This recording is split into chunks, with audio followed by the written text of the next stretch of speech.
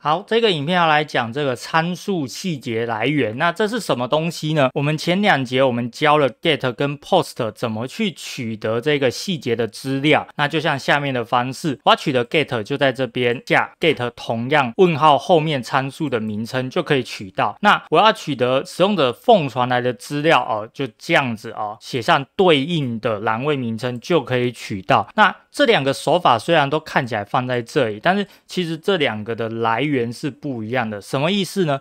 我们 get 的来源在这个上面，其实它是一个 query 的来源。那这边 post 这边的话，则是从 form 表单送来的资料。那在 n e c o MVC 这边，其实它是有隐藏的属性的。比如说这个来源其实是什么，但是它已经有一个预设值存在，所以它这边其实它已经预设你说这边是从 query 来的。那你用这样的方式，它就预设说你是从凤来的啊，这样子。那所以说，其实他们两个前面会有一个东西，但是隐藏没有写，因为不需要写这么多东西啊。比如说这里的话啊，可以这样子。那这个就是关键字搜寻。那其实它的来源前面可以加这个标签，那它的来源就是 query。但是你不加的话，呃，它因为有个预设值，所以它来源其实也是 query。那这边的话，来源其实是 from 啊，可以这样写。那执行出来的结果都是一样。那它的预设其实它也不是只有预设这个，它有一个。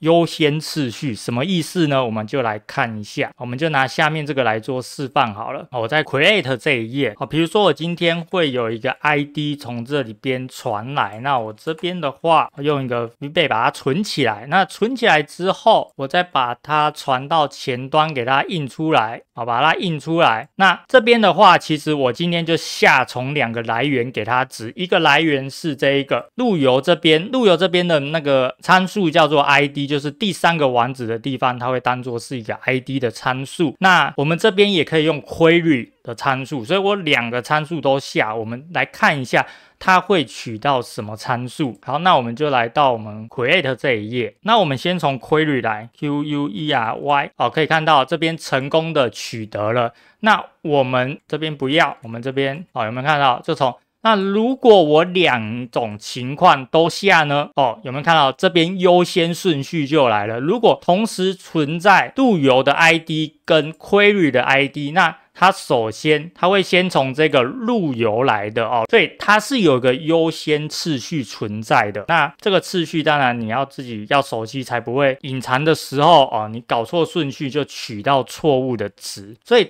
通常你在用一些主流，大部分的情况下，这一个来源标签是可以不用下的。但是我们在某些情况下，我们还是要很明确的告诉它来源是什么。那我们就来示范一下。第一种情况，这样就是我们刚刚示范的参数来源哦，名称都相同的时候。我们该怎么去分别把它取出来？那通常我们会尽量去避开说不同的来源，然后使用相同名称的这个参数。那但是有时候就是专案嘛，还是会遇到逼不得已的时候。那这个时候该怎么样去处理呢？我们这边啊，就先写好两个 ID，两个。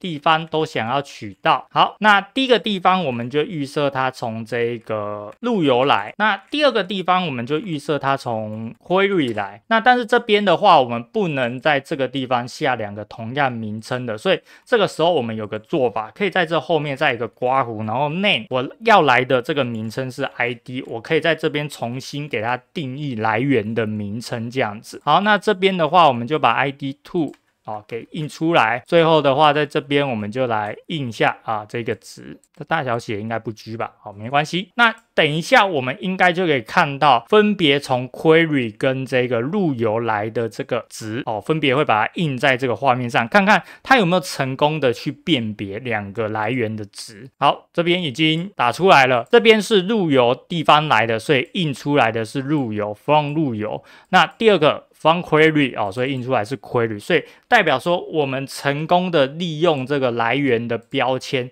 将同样的 ID 分别给它过滤细节到不同的位置，ID 跟 ID two，所以这边我们就是成功的啊去示范这一个东西。好，那。接着我们再来看第二种情况啊，就是我们今天编辑 post 的部分，我们会传一个 ID 进来，但是有可能会在某个情况下，就是我的资料内容里面刚好也有一个叫 ID 的栏位，就是这么巧。那这个时候要怎么去分开呢？其实跟刚刚的写法是一样的，我就明确的指定说它是从哪里来的。那这边的话，我们就是从路由来的；那这边的话，我们就是从这个表单来的。那这边的话，我们就啊来示范一下啊，这边已经写好了，我们这边使用侦测模式啊，因为这没办法印在画面上，我就用侦测模式。好，我这边先随便取一笔 ID，然后回到第一笔。哦，表单里面的 ID 会是一一，然后路由的 ID 会是 B 八，我们就来看一下。我这边下一个中断点，等一下就会停在这边。好。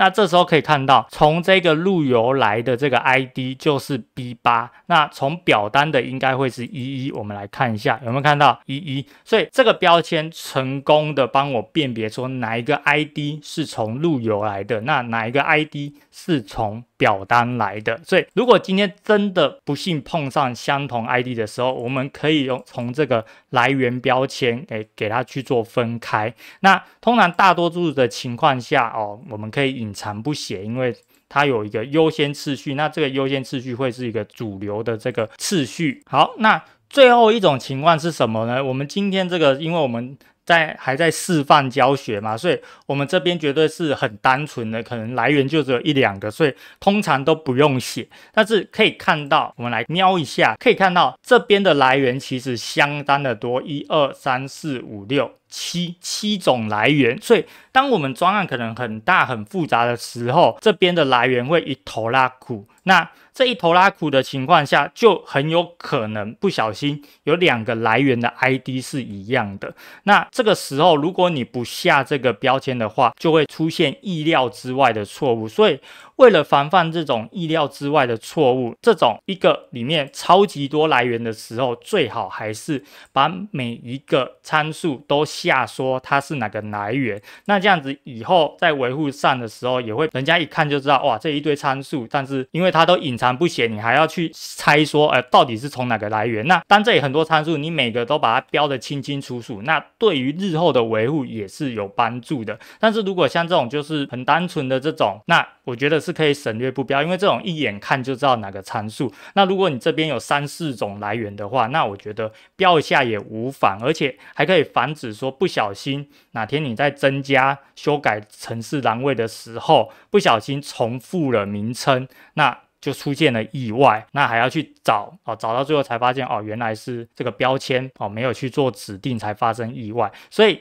这个标签你可以看情况啊，去决定说你要不要下这样子。那我觉得下了是更好，因为可以更明确的锁定说你今天这个东西一定就要从这里来。那这也可以避免说其他地方传 ID 的话，你其实不想要取得其他地方的 ID 的时候，你也可以很明确的去下它这样子。因为隐藏的话，我们可以看到。我们一开始示范，就算它隐藏，但是它也不是只有一种来源，它其实是有某个优先次序。如果第一种找不到，它就套第二种。那这个时候，其实如果你不想套第二种的时候，他还给你套第二种，那可能你的城市就会出现 bug，那这样子就不好。所以你很想要明确的，它只要只接收从这里来的时候，你也可以下这个来源标签。好，那今天这边就简单的介绍一下，其实细节它是有这个来源标签指定的这个功能，那就简单的教给大家。谢谢收看。